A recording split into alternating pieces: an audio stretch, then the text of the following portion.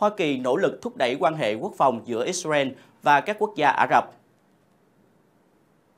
Trong khi Hoa Kỳ nỗ lực thúc đẩy quan hệ quốc phòng giữa Israel và các quốc gia Ả Rập, thì người dân Palestine chờ đợi chuyến thăm đầu tiên của Tổng thống Joe Biden trong sự ảm đạm sau những gì họ coi là chuỗi thất hứa của Washington.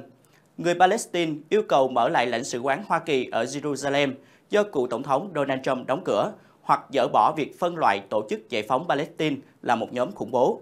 Những yêu cầu đó không được lắng nghe.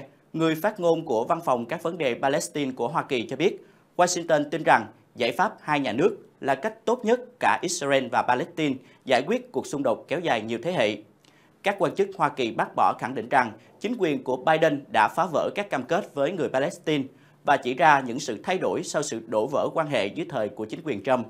Bất chấp sự thất vọng của người Palestine, họ nói rằng Biden đã khởi động lại viện trợ và mở lại các đường dây liên lạc. Chính quyền cũng đã chỉ trích việc mở rộng các khu định cư của Israel là không phù hợp với triển vọng hòa bình. Ông Biden sẽ thăm Israel và bờ Tây, gặp gỡ các nhà lãnh đạo Israel và Tổng thống Palestine Mahmoud Abbas cũng như là Ả Rập Saudi từ ngày 13 đến ngày 16 tháng 7.